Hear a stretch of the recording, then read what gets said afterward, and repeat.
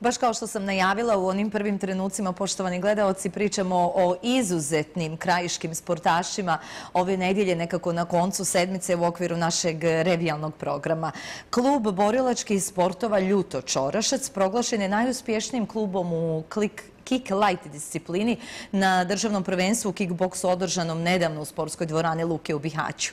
Ovaj sportski kolektiv zaista pokazuje već odavno nekako svojim rezultatima da je moguće eliminirati sve hendikepe i organizaciju mladih ljudi kao sportista, bilježiti vrsne rezultate ne samo na prostoru Unsko-Sanskog kantona i Bosne i Hercegovine, nego i tekako šire u regiji. Za razliku od onih klubova koji imaju, pa slobodno mogu da kažem, izdašna nekako financiranja pitanja, e, dokaz su i ovi malo prije što su bili gosti, članovi kluba borilačkih sportova Ljutoč to nadoknađuju upornošću, treningom i energijom koju ulažu u svaki meč kao da im je prvi. Nije ni čudo E, dakle što imaju državne prvake, najbolje seniore i seniorke. Oni su s nama danas u studiju, ali ja ću evo krenuti kada je u pitanju predstavljanje od trenera vođe ovog fantastičnog sportskog kolektiva, gospodin Mustafa Zulić je s nama, trener kluba borilačkih sportova Ljuto Čorašec. Dobar dan i dobro nam došli. Dobar dan i vama i vašim gledovacima. S nama je i Lejla Zulić, najbolja seniorka, je li tako Lejla? Dobar dan. Državna prvakinja, dobar dan, dobrodošla. Uh, Orhan Bajbutović, također, jedan od najboljih, dobar dan, dobrodošao. Dobar dan, bolje vas našao. Adelisa Hrnica, Adelisa, dobar dan i tebi. I uh, najmlađi, je li? Uh, ovim putem, jesi najmlađi, Erman Šehić. Ermane, dobar dan i tebi, dobrodošao. Dobar dan. Je li trema prošla? Pa jes. Onako poprilično jeste. Drago mi je što ste u ovom sastavu, Mustafa. Ovo je samo mali dio, je li tako, vašeg sportskog kolektiva? Tako je, ovo su po mogućnosti vašeg prijema ovdje. Jedan dio ekipe koja je nastupila i sa najboljim rezultatima na ovome državnom prvenstvu. Evo, svako od njih će se predstaviti i kazati zapravo eh, koje su to, eh, kakva su to priznanja osvojili na proteklom državnom prvenstvu u kickboksu koje je održano u Bihaću. I evo, ja eh, nisam imala tu informaciju, odnosno mislila sam da je zaista nekako manje vremena prošlo, ali spomenuli ste u najevi da ste 2014. godine organizovali sličan događaj i evo sad nakon decenju ste imali priliku ponovo učestvovati u svome gradu na istom. Pa mi kao klub borlačkih sportova Ljutu Čorošac, mi smo dva puta organizovali državno prvenstvo u našem gradu Bihaću. A Ovaj put smo, znači, kao učesnici, kao klub, učestvovali na državnom prvenstvu gdje je bio organizator favorit Bihać i ovim putem mu se zahvaljujem i čestitam na super odličnoj organizaciji koja je odjeknula državom i koji su ljudi postavili te visoke standarde, boga mi za za u buduće će se morati drugi potruditi da ih dostignu. E, inače, kada je u pitanju vaš klub, evo, da se možda vratimo malo na historijat, jer smo tako se dogovorili, pa da podsjetimo, jer odavno vas nije bilo u našem programu, na historijat ovog fantastičnog kolektiva. Pa ovako, ja ću da kažem par stvari o samom klubu i inače o kickboksu u našoj Ljutuškoj dolini. Davne, tako reći već, 2003 bili smo sekcija pri centru Bihaća. 2008. osnovali smo klub borlačkih sportova Ljuto Čvaraša gdje i dan danas znači, nastupamo kako na domaćoj sceni, tako i na međunarodnoj. Šta reći, kroz klub je prošlo preko 400 članova. Počeli smo u tako teškim uslovima, uvjetima gdje smo u holu školskom radili na i usavršavali te naše borce. Unazad tri godine otvorili smo i sportsku dvoranu gdje imamo sad super dobre uslove. Ovim putem se zahvaljujem znači, e, svim roditeljima koji su svoju djecu nama dali da da je edukujemo, da budu članovi našeg kluba i ovo je pokazatelj ove omladine da život teče dole u našoj Ljutuškoj dolini i da s ponosom predstavljamo kako i našu dolinu, tako grad, kanton i državu Bosne i Hercegovine. Ja ću zamoliti režiju ako mogu da pronađu neke inserte, evo u prošlo sedmi, odnosno u prošloj, e, prije sedem dana emisiji Nedeljom zajedno imali smo e, priloge i kadrove sa državnog prvenstva u kickboksu, pa ćemo možda tokom razgovora da e, vidimo i neke, ali evo da čujemo Lejlu Orhana, Delisu Jermana, kako sam brzo zapamtila ta imena, te vrhunske sportaše, kakvi su njihovi utisci, kakve su vaše prve emocije, evo nakon osvojenih priznanja. Lejla, bila državna prvakinja i najbolja seniorka, je li tako? Tako je, na ovom državnom prvenstvu koje se desilo u Bihaću, postala sam najbolja seniorka ovdje uh, dijela Kick. Dobro, šta te dovelo do toga? Evo, vjerujem da si oduševljena i sretna. E, Kakav je bio put? Vjerujem da nije bio ni malo jednostavan. Pa nije, uglavnom bitne su i ova, odricanja maga koja se dešavaju za ovaj sport i jako upornost, tako da Koliko dugo si već u kickboksu? tri godine već treniram i postajem najbolja uspješna seniorka. Odlično. Jesi najuspješnija seniorka zapravo. Orhane, da čujemo tebe. Pa sad na ovom takmičenju sam postao državni prvak, ponovo odbranio sam titulu Kick Light, samo što sam sad, ove godine sam prešao u seniore, dvostruki sam državni prvak u disciplini Kick Light i Light kontaktu. Dobro, Adelisa? E, Ja sam isto osvojila zlatnu medalju na ovom takmičenju i Dobro, kakav je bio tvoj put, kakvi su bili treninzi? pa isto bitno je dosta potruditi se za to i odvojiti vrijeme. Dobro, i da čujemo Ermana. Ja sam sad na državnom prvenstvu osvojio zlato. E, Kako je bilo, kako si se osjećao? Jesi očekivao uopće da ćeš osvojiti zlatnu medalju? Ja sam očekivao sam, Odmah si to znao na startu. da, Kako? Kako znaš to? pa zato što sam e, sve zacrtao u glavi da idem po to zlato i da idem po to prvo mjesto. I da nema boljeg i jačeg od mene. Svaka čast. Jesi to riječ trenera? Poprilično, jel? Treneru, evo, kada čujete. E, koliko je zapravo članova? Evo, jesmo spomenuli broj članova u klubu Borliških sportova Ljutoč? Pa trenutno imamo znači 35 članova, s treninga na trening između 20 i 30 dolazi. Dobro. Redovni, uporni.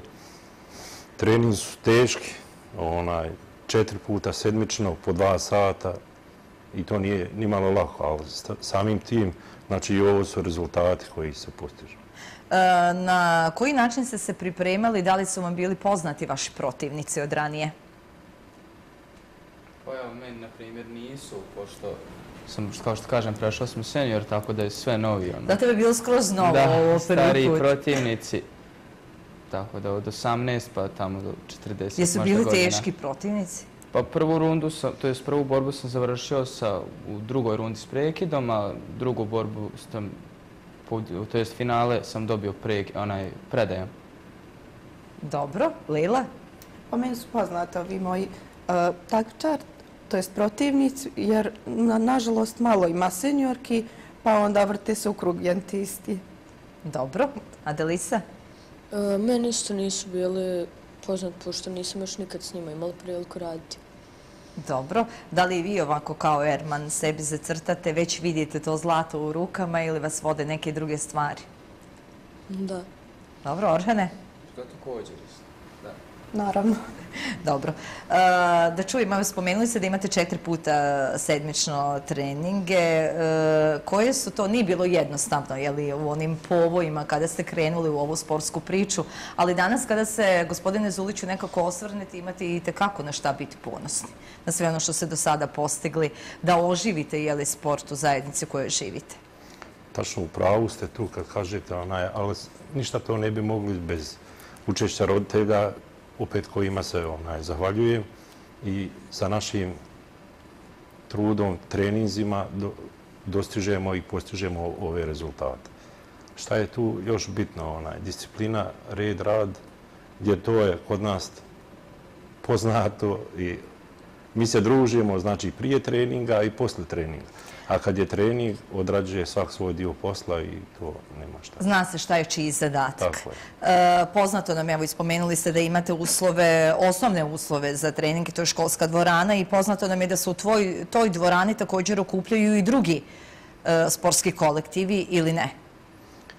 Pa dolaze nama... Na zajedničkim treninzima. Tako, dolaze nama naši prijatelji iz, iz, iz grada Bihaća, ovdje klubovi, koji radimo zajedničke treninge prilikom onaj neki takmičenja i tako onaj, na sparinzima i tim razmjen, razmjenjuju i onda je puno lakše onaj kad, kad dođemo do samog takmičenja. onaj Dakle, to vam puno pomaže u pripremi, odnosno da se kvalitetno nekako pripremite za takmičenje i borbe koje Tačno slijede. tako, zato što je tu dosta različitih boraca i moramo pristupiti na, na onakav način, onaj, prilagoditi se nekad i nekom drugom, a ne samo da idemo u svom pravcu. Dobro. E, Da čujemo možda od e, kickboksera e, koje biste prvenstvo takmičenja evo izdvojili koje vam je posebno ostalo u sjećanju? Ermane? Pa meni koje je ostalo u sjećanju je Evropski kup u Sarajevu. To je skoro bilo isto, je li tako? da. U aprilu nekad. Pa tako nešto. Dobro. Jer sam tu osvojio zlato i osvojio sam trofej za najboljeg starijeg kadet, kadeta i zato mi je to bilo najbolje takmičenje. Dobro. Znaš li inače koliko imaš medalja? Ne, Ne znaš im broj? pa ne. Otprilike. Pa ima oko 20. Dobro. Adelisa? E, Isto Sarajevo, gdje sam također osvojila zlatnu medalju i pehar. To je isto Da, o kojem. Erman priča. Dobro. Orhan? Kod mene isto također Sarajevo, Evropski kup, jer sam odbranio titulu. Isto sam osvojio zlato i osvojio pehar. Dobro. Lila? Meni je ovo sad posljednje u Bihaću bilo nekako najdrže jer je u našem rodnom gradu. Postala sam i tu najbolja senjorka, tako da Dobro, to ćeš, pretpostavljam, i pamtiti. Pa. E, treneru, koje su to borbe nekako bile interesantne za vas, evo, koje ćete pamtiti? Da li možete neke upečatljive izdvojiti općenito? Koliko se toga može zapravo naučiti od protivnika? Pa gledajte, svaka borba od naših takmičara je nama nešto novo. Ali ovdje ne bi izdvajao stvarno nikoga, onaj, svi su mi podjednako. Ovdje samo hoću da naglasim da smo mi klub boročkih sportova Ljuto Čoroša, gdje mi e, tri godine za redom uzimamo znači državna prvenstva, to nije mala stvar u kicklight i light contact. To ja mislim u, pa mogu reći onaj, u povijesti onaj, države da u, dvosmjerno, znači u dvije discipline za redom tri godine da ni jedan klub nije to ustvarivo kao što smo mi danas. Da, i ne trebate biti skromni, jeli, po tom pitanju, nekako to treba istaknuti. Pa, nismo, mi, mi, nismo mi skromni, mi radimo samo svoj dio posla, ono čime se bavimo. To ljudi prepoznaju i vide. I ovim putem želim se zahvaliti e, prijateljima, ne, ne, da ne bi koga izostavio. Znači, dugo mi trajemo od i treće godine svim prijateljima koji su nas podržavali, koji nas i dan danas podržavaju kroz financijski ovaj dio. I hoću da naglasim, znači, mi smo jedan od klubova a, koji ne naplaćuju članarnu, znači, e, imaju sve djeca osigurata, znači kad idu na takmičenje i to. Na, naša pozitiva i nešto što je vrh svega toga što klub kompletan kad dođemo tu i kažemo odradimo svoje zagrijavanje i stjezanje, već to kako ide, kažemo bu, da obuku opremu, znači oni su svi top, svi, svaki ima svoju opremu, znači ne oskudjeva da posuđuje jedno od drugog. Tu se zahvaljujem znači onaj roditeljima koji su dali jedan dio učešća za, za tu opremu, a ovaj drugi je dio klub, to jest naši prijatelji kluba koji nas sufinanciraju, pomažu nam da, da imamo to što imamo. Imate li podršku od grada sportskih e, saveza? Pa mi smo onaj prošlu godinu bili 4.500 od grada sport, od Gradskog sportskog saveza na kao klub što dobijemo. Ovu godinu nas se, čini mi se, na 5.000 nas je podiglo, a samim tim kad kažemo da nas ide 10, 12, 18, 16 na, državna prvenstva, to nama ne može biti na dva prvenstva da mi odemo. Pošto mi smo na kantonu ovdje i gdje god idemo na državna prvenstva i bilo koja takmičenja, mi moramo ići na spavanje, na noćenje i tako. A to sve Iziskuje novac? iziskuje no- novac, troškove, ne možete vi sjesti u auto, ja nisam zagovornik toga, niću kad biti da mi sjednemo u auto i putujemo 4-5 sati i onda je to dijete, ti naši borci ga prozove tamo nakon pola sata, on se bori, to nema smisla. Osigurat, znači, adekvatno smještaj, putovanje, sve to i onda je možemo tražiti i očekivati neke rezultate od naših boraca. Držimo se u praksi toga i dok mognem, gurat ćemo tu priču i gotovo. nije, opet kažem, nije mala stvar ne naplaćivati članarinu. Onaj, recimo, kroz unazad ti 20 godina puta prosječno 40 članova puta prosjek 20 maraka, vi izađete na neki 120.000 maraka gdje je ostalo sredstava našim roditeljima zato što nisu plaćali članaru. To ne samo da je u našoj Ljutočkoj dolini i tad kad smo radili tri godine u medicinskoj školi, to je bilo za sve takmičare, to je članove i u gradu Bihaću. Isti je, prema svima je bilo isto.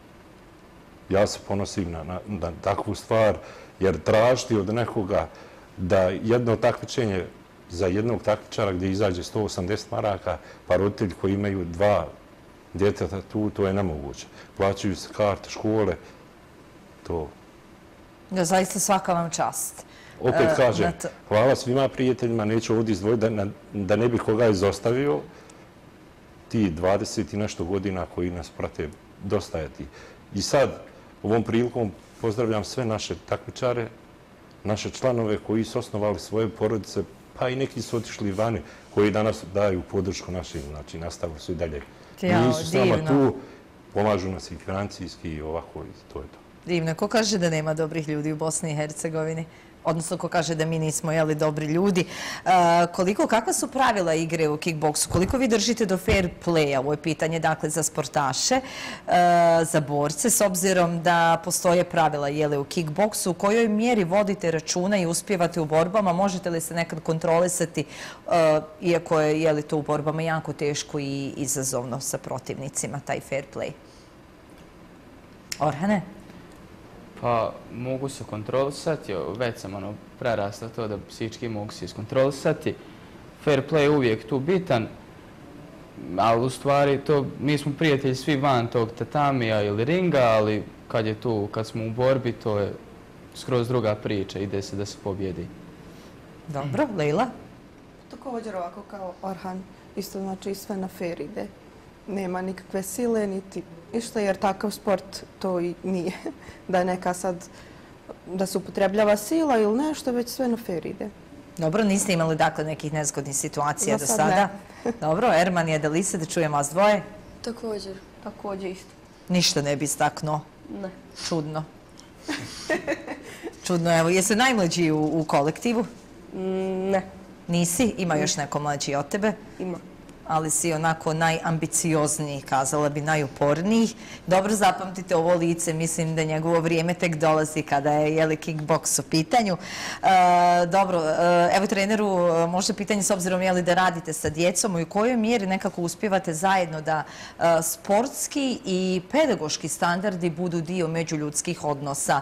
E, na prvom mjestu vjerujem da stavite tu izgradnju sportskog duha razumijevanja, samim time jeli međusobnog poštovanja, podrške, sportskog duha?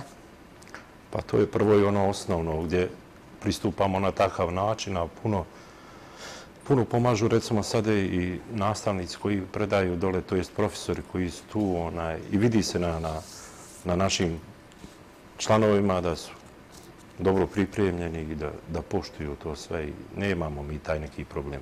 Inače, ja sam po tome i poznat, meni se ne može ni stvarati neki problem u, mom klubu, inače se pozdravimo i to je to. Ostaju samo oni najbolji i mogu reći da dan danas nismo imali neki problema i to. E, kako uspjevate uskladiti školske obaveze? Lela, ti i radiš pored studiranja i treniraš, je li naporno? Pa, dosta sam se već i navikla, tako da sve je biti raspored vremena i sve se može kad se hoće. Dobra organizacija, pola posla, što kažu, je li dobra priprema? Dobro. Vas troje? Ermane?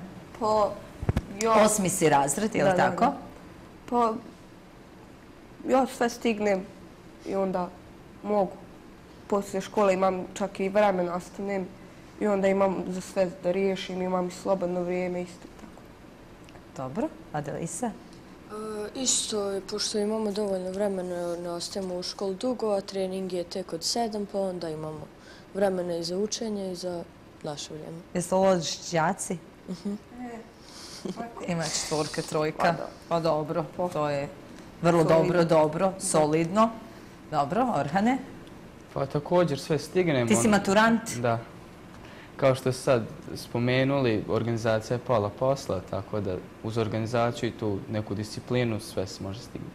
Dobro, evo za kraj možda šta vas čeka? Možda još u- samo nešto Naravno. da se nadovežem na ovo danas što oni rade i što oni treniraju, to je mnogo lakše i, i lakše je uskladiti to sve. Recimo prije nekad kad smo kretali, pokrenuli taj e, klub, recimo na treningi su bili od 20 sati na večer onaj do, do 22. U tome školskom holu to nikada neću moći zaboraviti. Tad većina je bila srednja škola gdje su putovali, dolaze autobusima, mlađi brat ili sestra ili roditelji donesu im opremu, odrade trening i tek tad idu u kuću. E, sad je dosta to bolje, urednije, imamo bolje uslove i svašta nešto. Ali rezultati i tad i sad to nek uvijek držimo na, na tom nivou. I kad je u pitanju i domaća i ova međunarodna scena. Odlično. E, bliža budućnost, šta vas čeka, koje su, koje su takmičenja izvjesna, evo za šta se pripremate? Pa evo sad, pošto smo osvojili i drugo državno prvenstvo, imamo sa međunarodnog tog prvenstva Evropskog kupa u Sarajevu odlične rezultate. Onaj, očekujemo poziv u reprezentaciju Bosne i Hercegovine naših takmičara koji će najvjerovatnije prvo ukrstiti rukavice sa nekim borcima na Balkanskom prvenstvu koje je 30. maja u Crnoj Gori. Onaj, I onda sledi svjetski kup u Budimpešti, onda dolazi do, dolazi posle toga Evropsko prvenstvo, svjetsko. Imamo, znači, ja mogu slobodno garantovati reprezentativce iz našeg kluba koji će braniti boje naše države i nadamo se odličnom uspjehu. Odlično. Radujete li se vi? Da.